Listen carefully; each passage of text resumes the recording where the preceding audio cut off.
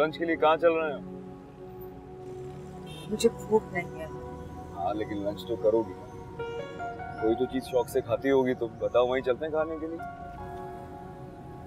जहाँ आपको ठीक लगे।